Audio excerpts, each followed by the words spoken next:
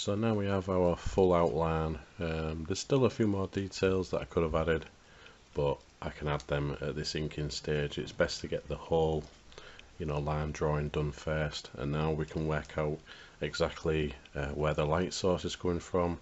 Um, I usually do this, um, you know, like sometimes, uh, but sort of other times I I sort of go overboard with the inking and uh, it looks like there's no sort of light source on some drawings but um, for the purposes of this video let's assume that the light source is coming from this side. So everything on the opposite side that we can do you know like so on these sides under these like tentacle things they'll be like more shadowed and then the lighter areas would be on you know the side of the skull the other side of the tentacles uh, that wooden stake and the shoulder there and just highlight areas. So like I said um, anywhere where the light source won't reach you know on this side um, there'll be the shadowed areas so say behind like tentacles and stuff under the eyes or what little eyes they have. His skull thinks it's all rotten. Rotten to hell but just try and add like a darker line. And sometimes a thicker line maybe on these tentacles usually works as well. Sort of like um, different line weights and stuff help you know um, create depth in the drawing. And a bit of that area might be covered by the light as well so this would be like shadowed and in here as well in the mouth area there'll be shadow. You just it's just basic um, you know like common sense where you know the shadow areas would be and uh, based upon you know where the light's coming from sort of thing um, obviously that nose socket will be all dark so just darken that now. And so this side of the head um, will be more, more lighter so maybe still around the eyes and stuff. Make it more dark if you can see that. Zoom in slightly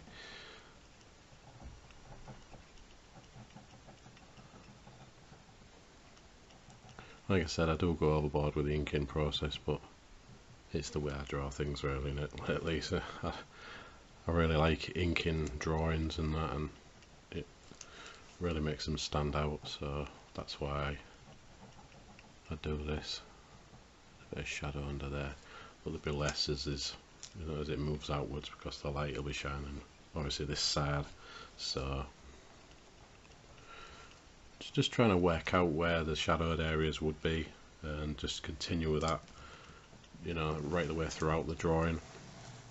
Um, so a lot of this would be shadowed but a lot of cool looking um, hatching and stuff like that.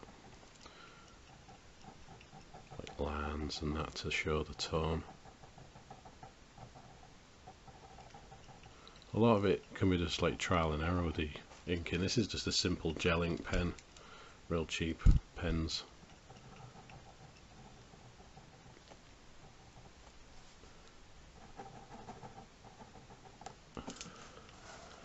So I just like darken it up that that way. And once you add these ink pens, you know, the, the like um, hatched like tone, you could darken it with a thicker pen later on, maybe a Sharpie marker or something, just to totally darken areas that you want in total blackness, which really helps as well, and thicken that underside of that um, tentacle thing.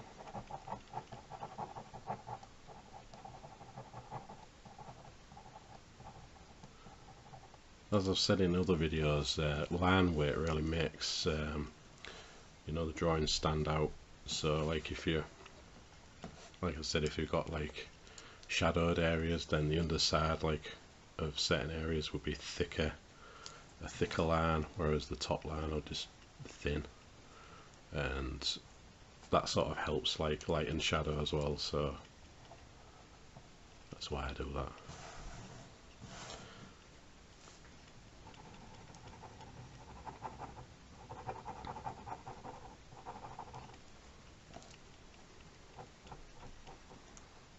just try and build up the areas that's all you can do. And sometimes it's a good idea to leave like a white line especially if you're you know colouring this in later on because um, you could do some like um, reflections of something you know underneath. Maybe there's like a supernatural glow coming from this way um, maybe or I don't know like it just adds an extra dimension to it even though we've established like the light's coming from this side. Um, that doesn't always mean that there's nothing coming from underneath uh, that can cause a, a different type of glow like a red glow or something. You know you just got to keep your options open with these drawings and you know sort of plan it ahead.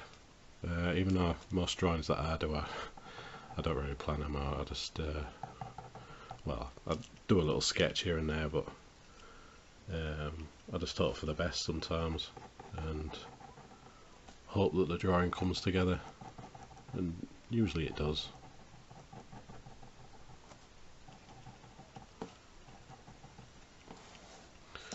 So it looks like I'm doing this real sketchy like, but you can see down the inks there. Just like small lines and darker areas. So I'll just carry on inking this and I'll show you a bit more as I go later on. Um, bit of a time lapse just to jump ahead a little bit and then we'll see where we are with that.